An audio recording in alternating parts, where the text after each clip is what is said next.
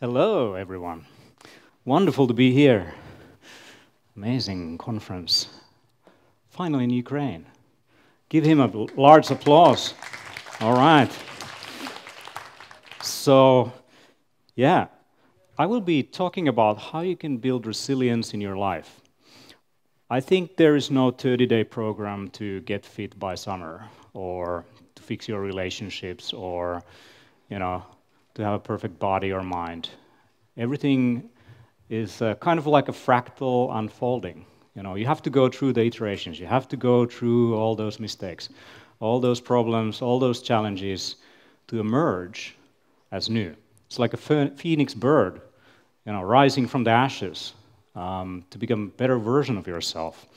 So that's what I'm going to be diving deep into. Personally, my journey has been in optimizing human and technology relationship. I started from learning. Uh, I'm 37 now, by the way.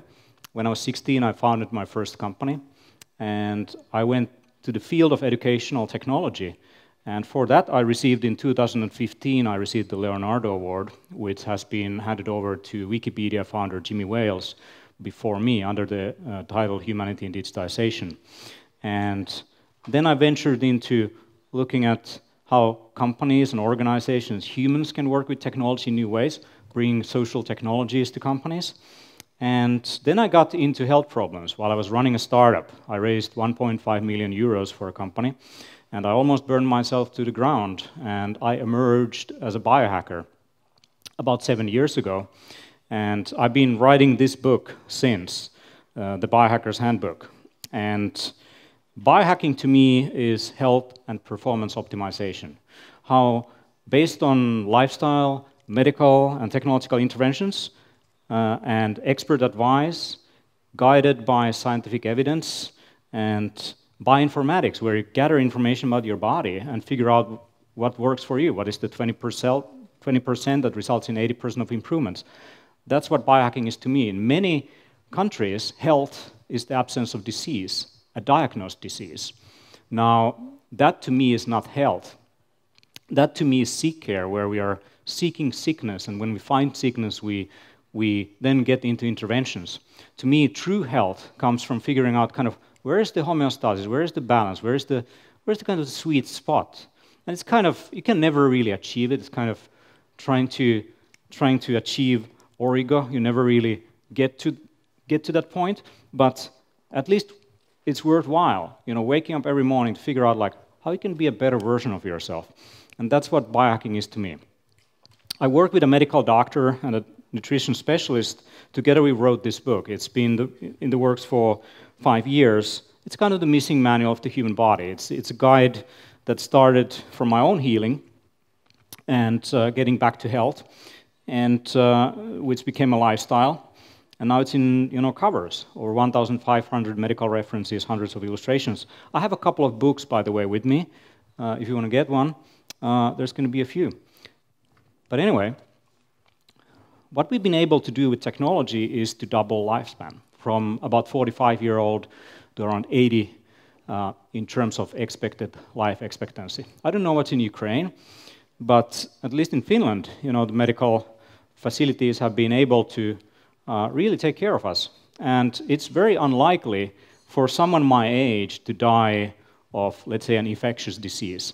Actually, the highest likelihood of me dying, 70% of the case, is to get into, an, into a car accident or some kind of uh, uh, traumatic injury. And even then, the medical establishment can help me. But as we age, the complex diseases that we get into are, are going to kill us. And when you look at US, the estimated life expectancy has been down for the last three years.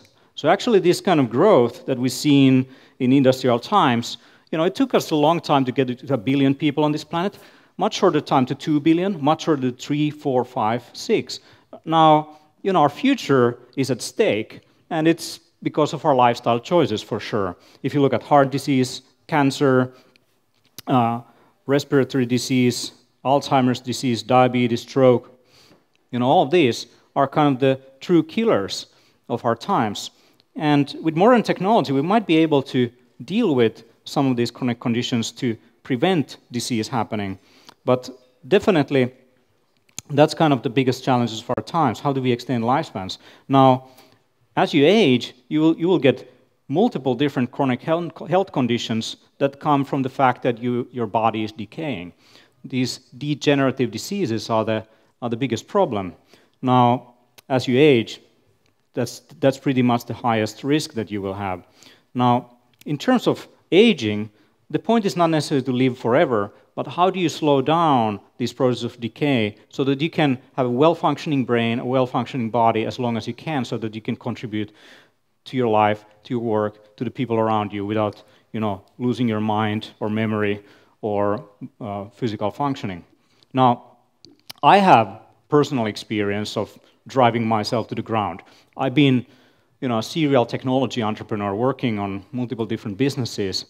And in 2011, when I founded a startup company, I was still working as a management consultant for many companies. And uh, this is what I look like. You know, doesn't look slightly different than this guy here. This guy was inflamed. He was not, you know, his brain was probably not awake. There I'm with my mentor, Luigi Canali De Rossi. And uh, yeah, I, I started getting some serious problems. Uh, first, it started with pain in the gut, and I didn't really feel that good. Uh, and when I ate something, the pain went away. I didn't think much about it. I noticed my energy levels were a little bit down. So, month after month, it's the, the pain started increasing. And, and then I did what most people do in this case I went to the doctor's office. And the doctor diagnosed an ulcer a wound in the stomach. And I got some medication for it, proton pump inhibitors that would bring down the stomach acid levels so that the wound be, would be able to heal. Now, I started taking the medication, the pain went away, probably because not much stomach acid was causing the pain. And I continued my work, my energy levels were still down, but I didn't have the pain. After six weeks, the pain actually suddenly uh, came back. And I went back to the doctor's office. I got uh, prescribed more pills. And she said that, yeah, some people need to eat these pills for the rest of their lives. And at this point, I went online. I started doing research into first the ulcers, then inflammatory conditions, gut issues, and so on. I realized that I shouldn't be eating these pills for a long time. There is real consequences of doing them a long period of time. And uh, you have stomach acids for a reason. So I started researching what can I do alternatively to take care of such an inflammatory condition. And uh, this research led me to PubMed, which is a database of medical literature. And I'm actually very methodological in everything that I've done in my life. And I don't believe anything that people write on forums, so I just went to the source. I started reading the research papers, and I took a few online courses to be able to interpret the data and to understand the language. And I designed my own gut healing protocol. This was kind of the executive summary to my doctor. And the basic building blocks there were basically to sleep more. I was sleeping four hours before this, and I started sleeping more. I also uh, in terms of diet, I looked at different compounds that would be lowering inflammation, things that would prevent inflammation, and things that would cause inflammation, I would be avoiding those things.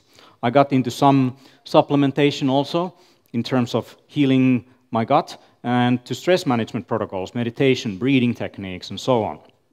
A little bit of moderate exercise. That was my protocol. And my doctor said that, hey, Teemu, you know, most people they can change their behavior. You tell them stop smoking cigarettes or drinking alcohol, uh, they still do it. They think, you know, the consequences don't really apply to them, but to some other people. And that's kind of the problem. Uh, for any doctor, you know, you should change your diet, you might be saying, but these people are not doing anything. Like, how do you, how do you kind of engineer those people into changing their behavior?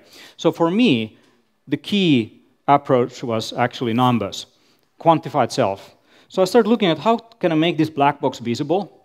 Um, and today there is all kinds of technologies from wearable trackers like this, or this, this, this uh, watch here is actually measuring my, um, my heart rate and my stress levels and activity and steps and all that. So I started looking into into the data. I'm moderately stressed right now when I'm speaking. So uh, these numbers made this black box visible. I got into lab tests, I got into genetic tests, I started doing many things to figure out what really works and what doesn't for improving my condition. I really understood at that point what Peter Drucker meant, meant uh, in management theory uh, with the term, what, uh, with the quote, what gets measured gets managed. So getting actively into the process of measuring what's going on, it directs your attention to it, and that enables you to change your behavior. And the faster the feedback loops, the feedback through any and all means of observation, uh, taking notes, uh, having a journal, or measuring things, the faster the learning also, the faster the change. So quantified self became the mirror through which I was able to understand my own behavior and my interventions and what things might be actually doing something. And uh, when I implemented this protocol after three months, I was pain free. After four or five months, I noticed that my allergies went away. I also noticed that my brain went back online in a way. Um, I had more focus, uh, more energy. I didn't have the crashes throughout the day. So something that was designed to be temporary actually became a permanent lifestyle change. And here we are today. I've been continuing this since. And so I really learned the hard way the gut brain connection that when you heal your gut, you also influence your cog cognitive uh, appliances and abilities. And the way, other way around, that you know, the ability to analyze, the ability to go deeper into what's going on in your body is also one of the ways how you can gain better understanding holistically of, of what's going on in your body so that you can heal yourself. And this brings to my mind the story of Prometheus, who was given fire, uh, who gave fire to humanity. He actually sacrificed himself by stealing the fire from gods. Now, Heracles arranged a bargain with Zeus to exchange Chiron's immortality for the life of Prometheus, to bring him back to life to be unchained from the rock that he was chained into. And uh, Chiron was immortal. Uh, he was the master of healing arts. Um, and he was eventually poisoned by an arrow, a poisonous arrow that Heracles uh, made. And he tried to heal himself with herbs and failed, so he was no longer immortal. Now, the concept of wounded healer is actually what I see everywhere in the world of uh, healing, the world of therapeutics, in the, in, the, in you know, the biohacking community. Many of those people have been chronically sick, diseased, overweight, inflammatory conditions, all kinds of problems, and through their personal struggle, struggle they are reborn into healers and they're motivated to help others. That's kind of also the case for myself. And Carl Jung, Carl Jung really spoke about this. Uh, he spoke about the fact that his observation was that over half of those people who get into psychoanalysis and therapy, they're actually they have their own uh, wound somewhere in their past, and which made them motivated and interested in the healing arts. And uh, that, that is kind of the potential there. If you have been wounded, you're much more capable of being empathic of other people. You actually know what they've gone through. If you had an inflammatory condition, you actually know what it's all about. You're much better able also to help them out of that condition. And uh, there is some studies that actually show that 73.9% of therapists have experienced a wounding experience leading to a career choice, why they chose to be what they are. And I, I, bet many people in the audience have their own traumatic experiences, maybe psychologically or physically, what led them to this field or to even change career. Now, all of us are potentially healers in training because we live, you know, in this completely stressed out society, completely sick society uh, you know, overburdened by all kinds of responsibilities to family and to work and, you know, the future generations, considering what's, what's going on on TV right now. So there is something here that we need to learn. Uh, here is what you know, a typical balanced day look like in terms of sympathetic nervous system and parasympathetic nervous system activation. Uh, so here in green you see the moments of recovery, and on red you see the moments of stress and activation. Now, these things should be in balance because if you are stimulating yourself throughout the day, drinking coffee, and not sleeping enough, it looks like this. You will be spending too much time in a sympathetic nervous system overactivated state, and you don't give your body the time to heal. And it will compromise your health, immune system function, organ health, and so on. It will give you diabetes or cardiovascular disease, etc. So maybe we need you know, some modern technology to help us out from there. Here's an isolator from 1925. It kind of blocks out you know, all the sensory input uh, so that you can focus on your work, you have uh, extra oxygen coming in. Maybe we need technology like this.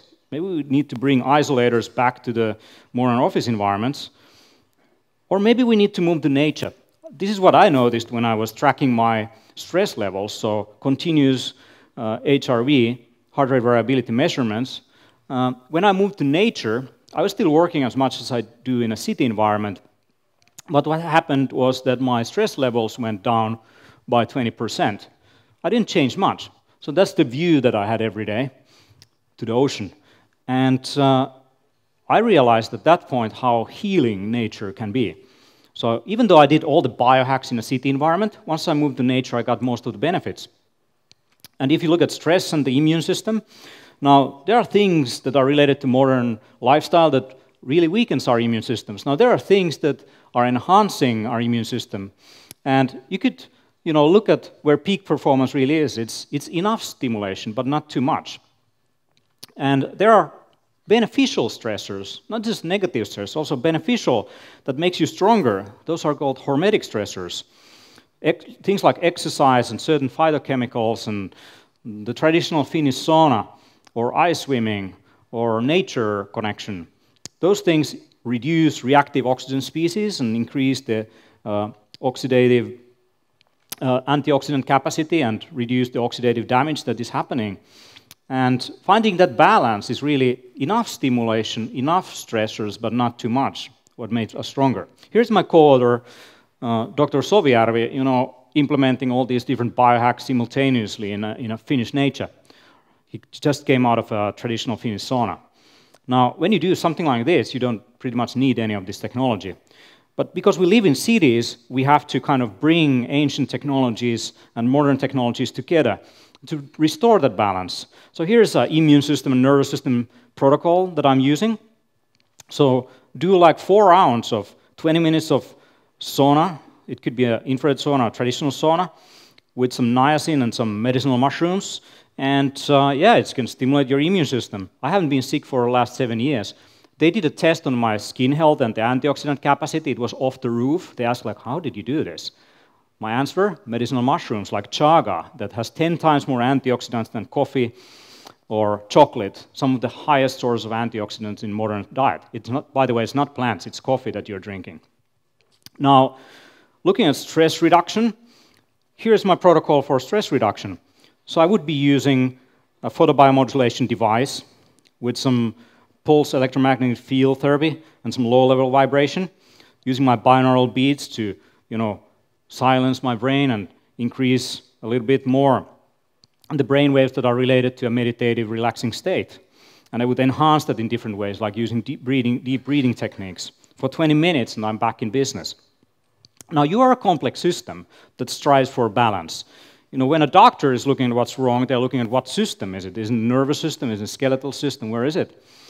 Um, and you can start from the microcosm up to the macrocosm of lifestyle and behavior and environmental factors, or you can go to the level of molecules, single molecules, looking at your nutritional status. Do you have all the fuel that your body really needs on a cellular level to deal with things? Is, is, is all of that in balance? Now, to become a resilient being, you start from the level of a single cell. You look at DNA, how true environmental factors that becomes stronger, for example, produces more heat shock proteins when you go to sauna, or cold shock proteins when you go and expose yourself to ice swimming, or different nutritional interventions that enhance autophagy or, or uh, cell renewal. Now, when you go to the level of mitochondria. How do you produce more mitochondria? The source for all of this is a little bit of stimulation, a little bit of stress. You know, it's not good to be you know nice and cozy. It's good to you know expose yourself to to some difficulty occasionally, but not too much. Now that goes to the level of the organism, to the level of you. Are you a wounded healer? Have you really faced your problems, your childhood, your generational trauma? Have you really gone deep into it instead of running away from it? To find the balance again, to be not toxic to your environment, to, to other people, but to be able to help humanity where it's going next. Now, in our bodies, we have this biological machinery that strives for balance through all these different information networks, starting from a single cell genetics, looking at the different chemical reactions and metabolic pathways, all the electric activity go going in your nervous system that signals things so that you are better able to, to deal with environmental factors. Now, the data sources for this bionic platform are being reverse engineered by um, bioinformatics. So we are starting to look at you know, how this complex ecosystem is working. Medicine was all about reductionism, going you know, to, to the level uh, of looking at what single molecule is doing what. But now we have artificial intelligence, machine learning, that, and complex ways of mapping out and simulating things so that we can better understand complex interactions. That's the future of medicine. To me, bioinformatics will be for health what microscope was for biology or telescope was for astronomy. It's kind of a new way, it's kind of a new angle through which humans can really touch something that is beyond our existing senses. Now, the future of health is in the data and mining that data and understanding it. Not just health records, but you know, not just patients as consumers of healthcare services, but active participants by bringing their own data, by you know, having sensors and different ways of measuring things in their environment so that they can influence all these machine learning based algorithms and models that can better predict the future of uh, health. Because what, we, what is happening is we are moving from healthcare that is reactive uh, to healthcare that is predictive or even prescriptive, where today you might be informed in terms of lifestyle choices that if you do these few things, you will reduce your risk of getting Alzheimer's disease by half. Now, those are the real things that we should see in healthcare. True healthcare is preventive. Healthcare that is sick care is based on past. Healthcare that is based on predicting the future is the future. Now, starting from genetics, the cost of sequencing the human genome has gone down. 10 years ago, 10 million now. For less than 1,000, people like me can get you know, my genetics analyzed, and I can, that can influence my nutritional choices, if I should be eating wheat, or how much vitamin D should I taking, and if I have ApoE4 and have high risk for Alzheimer's disease or cardio cardiac events. Now, I could also look at my performance. What is this? Yeah, so this is, this is my physical side also, like how do I influence my performance? Epigenetics can help us understand our true age, how we are really aging. Now, looking at myself from a genome-wide analysis, all the changes that happen you know, as we age, based on population studies, I, I'm actually two years younger. So instead of 37, I'm 35. And considering the stressful life that I was living from 20 to 30, I was probably accelerating my aging. Now, in the last seven years, I've been reducing it. I hope I was, you know, intelligent enough to start this earlier. But I will continue on this to slow down aging so that I can, you know, get some more years in my life. Now, I have all these different technologies to track myself and get data from my body. And there are all these sensors that you can attach on yourself. And those are becoming much more intelligent. So it's no longer just that we are blood donors, we are data donors. We donate our data for greater good of humankind. If you have a wristwatch like an Apple Watch, it might be able to uh, alarm you about the potential risk of getting uh, you know, atrial fibrillation. So that's a good example of preventive uh, medicine and, and, data. Now, I can analyze my uh, sleep data. That can maybe inform that I might be having sleep apnea, and I could you know, get that fixed before uh, it, it causes other problems. Now, when we combine all these different data points, we get a more granular, more detailed uh, result of where our health is going. Like the ring that I have right now can maybe you know, give us a combined idea of my recovery and my current state of being. Now, in Star Trek, Spock had this tricorder that he used to figure out, you know, any single human being or a planet, an environment, what's going on. So the device had all the data uh, and, and all the capability for diagnosis. We have technologies like, to, like that today. Like DxtER here can uh, analyze 34 different health conditions. It's a completely portable technology. And these things are getting smaller and smaller and more accessible and accessible. And these things are also getting inside of our bodies. So they're not just wearables, they're insidables. Like you can have a continuous blood glucose monitor that informs you of food habits, how those might be influencing your blood sugar management. And those can be also useful not just for diabetics, but also just healthy people to figure out how they can manage energy levels. What we can learn from here is that you better drink champagne than uh, some kind of juice cocktail this evening, by the way. So all these, you know, latest trends in diet what they really come back to is like how do we maintain balance? How do we like restore balance in our microbiome or in terms of our blood values and so on so that we don't you know age faster? And we see already diagnostics and therapies that are aiming to use you know all these complex holistic lifestyle interventions to get people out of things like diabetes. We wrote something of this in the biohacker's guide to ketosis. Uh, you can find more information online. Now Looking at my own biomarkers, in the last seven years, I've been able to reduce my risk for cardiovascular disease. I've been able to reduce my risk for getting diabetes.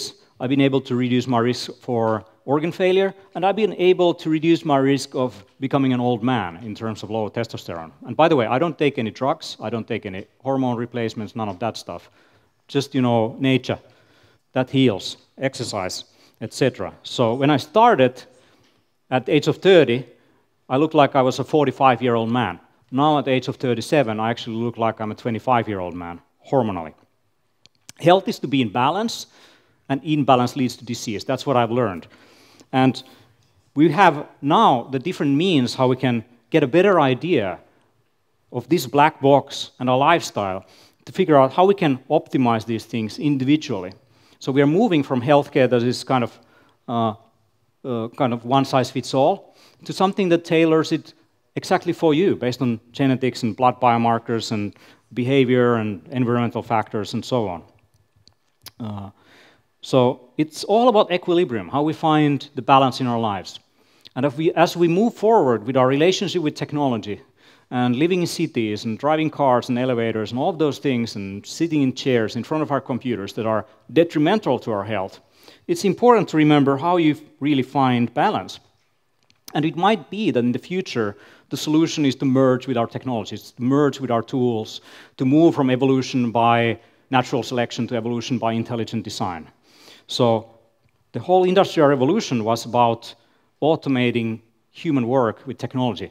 Now it's more about technologies converging together and maybe integrating with us human beings. You wake up with a phone, you go to sleep with a phone, that will become a more integral part of everyday life. And what Isaac Asimov said, any technologies, uh, any technological advances can be dangerous. You know, the atomic bomb. The guys thought, you know, that they were we are going to have free energy. We can, you know, replace all the energy sources. We saw what humans used that for. We see what people are using drones for right now. We know what people could use gene manipulation for. You know, technology on its own is not evil, it's the way how you use them, for good or for bad. And that's where you know, Prometheus rises. We are given fire, things like the wheel, things like fire, things like biohacking. It can be used for extending lifespans. It can be also used for pretty experimental things that will kill all of us. But you know, in the end, it's about finding balance. It's find you know ways of really figuring out how we can advance as a civilization. Now, I wrote some of these things into the Biohacker's Handbook. You can get it online. Uh, and our next book is called The Resilient Being How You Build Resilience from the level of the nervous system and the organism to your relationships and all that. If you're interested in any of this, you're welcome to come over, over to Finland, where we have our five year anniversary We've been organizing now 10 events. This is our 10th event. It's going to be a celebration. A thousand people coming over who are interested in biohacking in Helsinki. So check out Biohacker Summit. With that, thank you very much.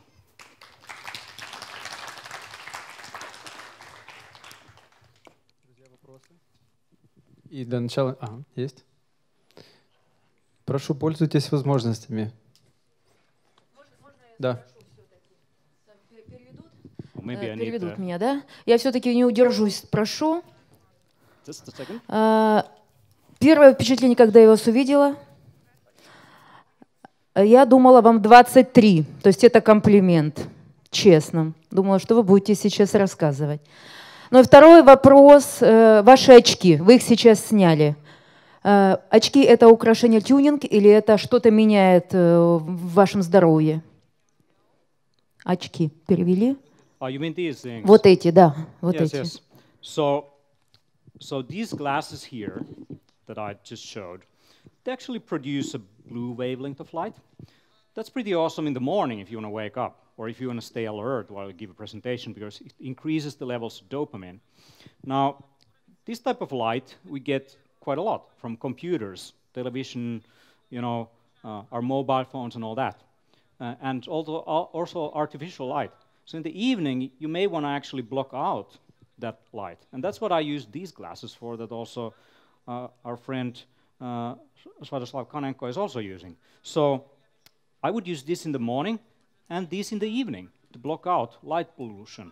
And this in the morning, because I live, you know, in Finland, it's pitch black darkness this time of the year. It's getting darker and darker. It's going to be all dark this winter. So I need something like this to, you know, kind of restore my circadian rhythms and my, my day-night cycle. And I might use these things in the evening then to, you know, be able to continue using computers and not block the production of melatonin for example, what these wavelengths of light are signaling to our, bo- our brains and bodies. Спасибо большое. Thank you. Thank you. Спасибо. Э, У меня вопрос э, тоже, я по-русски, чтобы больше ну, как бы вложить вопрос. Э, Тоже, когда увидела вас на сцене, первое впечатление, что вы как человек из э, фильмов э, про будущее, где э, есть люди, которым доступно что-то, что помогает им быть молодыми и э, здоровыми, и при этом есть много-много-много людей, которые не могут себе этого позволить. Вот такие фильмы, как «Тайм», да, «Время», когда люди есть, живут много-много лет, а есть те, которые живут мало лет. А, И вот э, в связи с этим вопрос к вам, потому что, скорее всего, вы будете работать над собой и будете уменьшать свой возраст, так как вы и сказали. И, скорее всего, что, может быть, и через сто лет вы будете выглядеть так же, как сейчас. Э, Какой э, вы видите, какое вы видите решение для того, чтобы вот такие методы, которыми вы пользуетесь, стали доступны не только избранным людям, которые себе могут это позволить, но и многим-многим людям на Земле, и чтобы они об этом узнали. Спасибо. Okay. So if I understood correctly, the question about, you know, that some people have access to this technology that might be even expensive, like, you know, these kind of wearables and, you know, nutrient-dense foods and all that, and people who don't. Now, what is happening is because of exponential technologies, the cost of many of these things are coming exponentially down. So if genetic analysis cost like uh, 10 million 10 years ago, now it's a thousand. It's more affordable to, you know, generally wealthy people. It won't be long, maybe a couple of years, and it will be available in the developing countries on the field to analyze a rare genetic disease or maybe to influence nutritional choices. And it will be the cost of a few pennies. And that's where we are heading with these exponential technologies. If this ring costs now like 300 euros, it's going to be soon 30 euros. Soon it's mass produced somewhere, and you know it will be everywhere in our garments. Our everything becomes a smart wearable. What you buy from from a so- shop. Now, in terms of nutrition, uh, you can just skip the middleman, you know, all the supermarkets, and go directly to the farmer, and you can get healthy food at a fraction of the price than buying it from the supermarket. Now, what I do, I forage. I gather my own food. I gather my own mushrooms. I gather my own wild plants.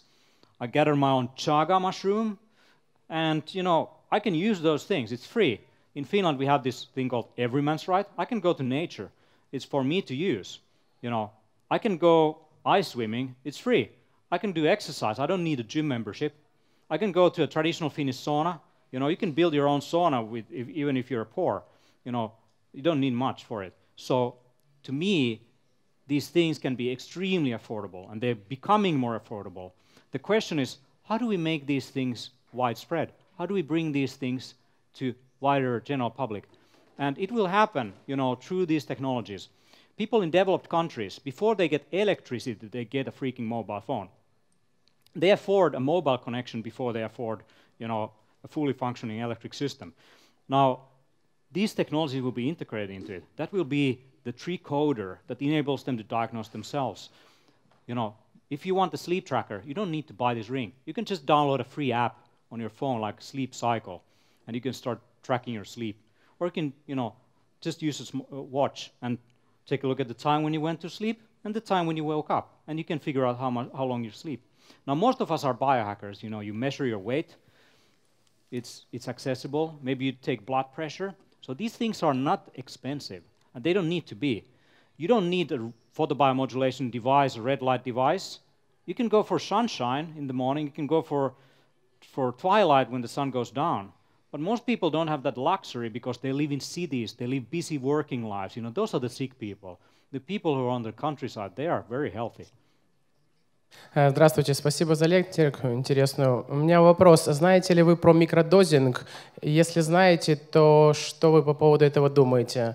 Вы говорили про грибы, например, в частности, псилоцибин и другие. Как вы относитесь к тому, когда маленькими дозами некоторых наркотических или ненаркотических веществ используются, э, используются для расширения мозга, сознания и так далее? Хочу ваше мнение услышать. Спасибо. Right. Okay, so the question was about psychedelic drugs, and there is a lot of growing body of evidence for the therapeutic use of uh, psychedelic medicines. Now, John Hopkins just opened up a research center with a lot of uh, uh, funding, so that's one of the most prestigious universities in the world, and they're doing uh, conducting research into it. And uh, so there's a lot of hope in many of these things, but I'm a bit uh, concerned about the fact that people are taking things like microdosing into their day-to-day life, that they're doing it you know, every day. For what reason? Not to get healthy, but to perform better, you know, to be more creative, to live the modern life. They're still in the matrix, you know.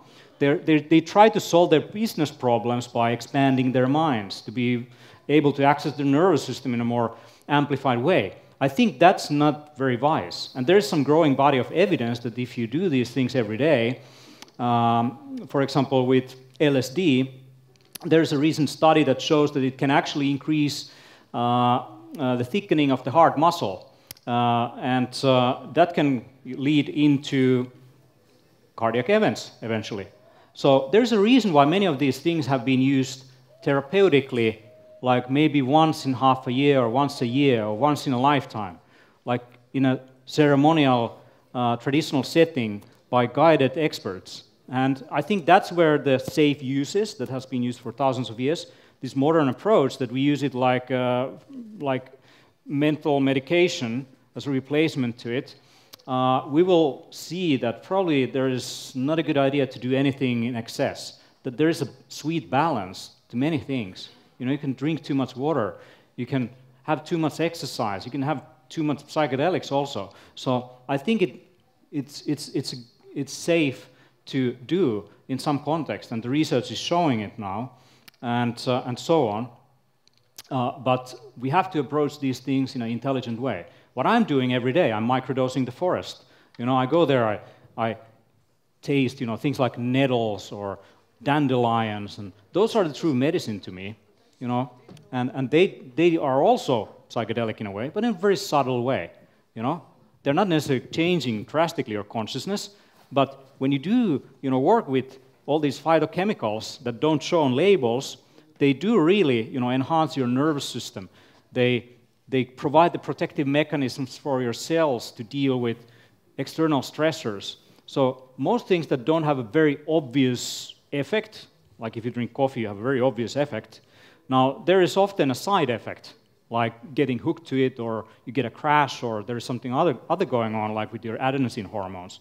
Now, to find balance, you know, we should find the ways that are oiling our biological machineries. And often in terms of diet, it's not going for, you know, one size fits all. It's about diversification.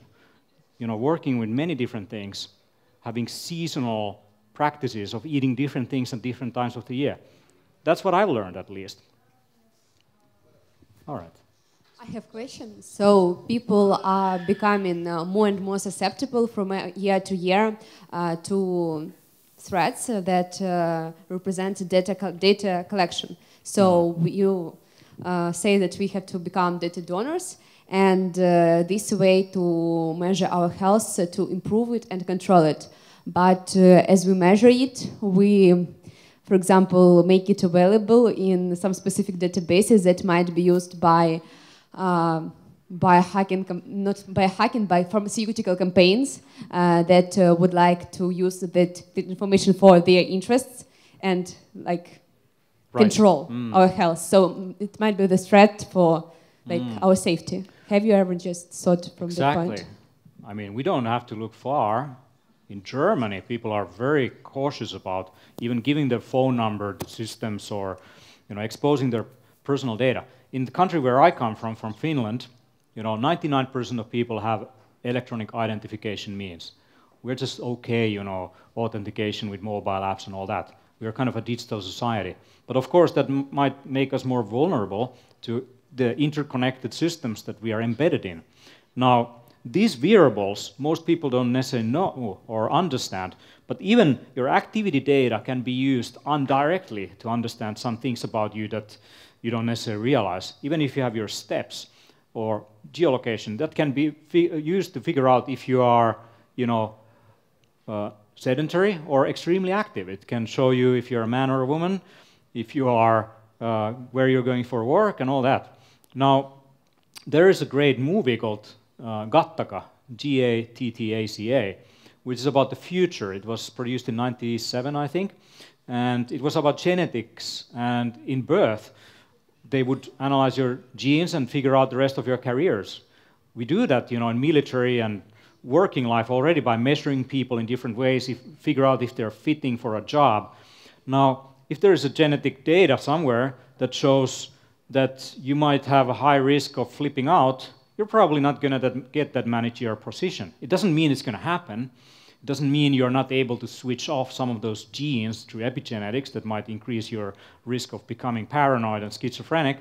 But you know, still that data might be used in such way. Insurance companies will be using these things to optimize insurance policies and uh, people are you know, happy to give their data in exchange for lower rates in the future. This, this shows up in statistics. Now there is obvious risks, obviously, to you know, donating your data for these systems. But at the same time, I'm an optimist. I'm a technological determinist and optimist. I believe that technology has more of a hope for humanity if we, you know, let go of our disconnection with others and we see that modern technology can be a new way of connecting us. And if I am using my health data only for my own reasons, um, it won't be as beneficial to the rest of society compared to if I shared, you know, my genetic information, my biological samples, uh, my activity data throughout my life, because those can inform um, statistical models and machine learning algorithms to help other people more. So this time we are living in is what Marshall McLuhan described as the, uh, as the global village that the electronic medium, which is an extension of our nervous system, is connecting us back to the tribal society, where we don't see disconnection anymore from other people. Now, that's a philosophical question what privacy is, because privacy is a cultural notion. Different cultures view privacy in different ways. You know, in Finland, they keep curtains closed. Uh, in the Netherlands, you know, if you have your curtains closed, it means there is something strange going on. You know, so people keep curtains open. Uh, and uh, so if I look at my blood values, and someone might, you know, get an idea of my the level of, uh, let's say, my macrophages or, or my blood sugar, is that really dangerous information? Is that potentially going to kill me? Uh, probably not. Is that going to inhibit my career opportunities as a biohacker? Probably not. So the way how we see information as risky on its own might not be as it is. It's not as black and white thing. So on a societal level, what I think is important that people get educated and understand better how their data is used, how it can be used. They should have control what systems, what corporations have access to it, how long they have access to it. They should have ability to cut that access. But you know what? Your data is already being used in so many different ways that you don't even realize. And we learned that through the case of Facebook, how people donate their data for all these systems, very private information, very sensitive information that can be used to you know, manipulate their political views or even figure out the condition of their health. So it's not such a you know easy topic, and it's not such an easy answer either. I think you know in terms of being able to uh, emerge, to to evolve as species to the next level, we need this relationship with this technology. We need this relationship with this data that is a mirror to ourselves. But then the question is like with Prometheus, are we going to use that fire for good, or are we going to use that for advancing our selfish needs as individuals or countries, you know, for dominating others uh, in companies or etc. Or are we going to use those for extending lifespans to be able to, you know, still continue existing as species, to be able to, you know, move to other planets and not destroy ourselves before, before that happens? So that's the way how I see it. I'm a philosopher. I don't have an answer. Thank you very much, Teemu. Very interesting, very excited. Thank you. Let's say.